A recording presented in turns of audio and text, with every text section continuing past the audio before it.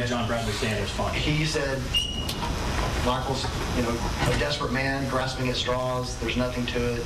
Don't worry about it. And, and basically that was it. Developing news in the Court of Inquiry against State District Judge Ken Anderson. Right now, former Williamson County Prosecutor John Bradley is taking his turn on the stand. Chris Sadeghi joins us from the Williamson County Courthouse with more on this developing story. Chris? Well, Leslie, what you just heard was an old juror talking about a conversation he had with Bradley, who for years dismissed Michael Morton's cries for DNA testing as signs of a desperate man. Well, now Bradley is on the stand in this court of inquiry explaining why he resisted that DNA testing. Bradley worked with Ken Anderson in the DA's office and said that Anderson took a lot of pride in the Morton conviction. The first time DNA testing was requested was in 1990, and Bradley said it simply wasn't in line with state law at the time. Then when the Innocence Project began pressing in 2005, he would talk to Anderson about the case again, and Anderson's strong belief in Morton's guilt led Bradley to oppose DNA testing because he didn't feel it would lead to a third-party killer. But as for the evidence that never made it to trial that Anderson is accused of withholding, Bradley said through all these years he never knew about it.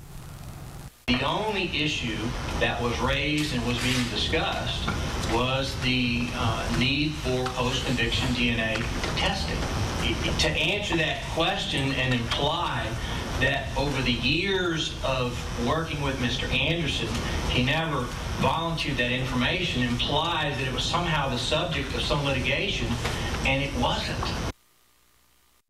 And Bradley went on to say that had he known there was potential evidence that was withheld, he would have ordered that the Morton file be reviewed. As I said, he's still on the stand right now. Stay tuned to KXAN and KXAN.com for all the latest of his testimony. For now, we're live in Georgetown. Chris Sadeghi, KXAN News. John Bradley's long career will forever be connected to the Michael Morton trial. He joined the Williamson County DA's office in 1989, serving under Ken Anderson.